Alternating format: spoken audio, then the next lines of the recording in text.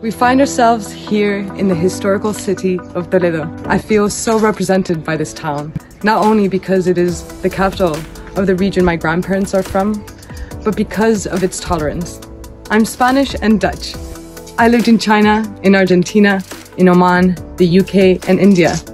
And I feel that this deep connection to both the rural and the global context is what inspires me as an entrepreneur. There is such a potential to bring the latest innovation technologies to the hands of creative problem solvers. As a culture, I think we're ready to move further. The idea of more collaboration, more people, more sharing of ideas. The knowledge needed to do things in a better way needs to be things need to be happening locally. As co-founder of Wikifactory, my ambition is to bring global and local communities of creatives, designers, engineers, and fabricators to share their ideas and innovation online, to tap into the opportunity of collaborative innovation at scale.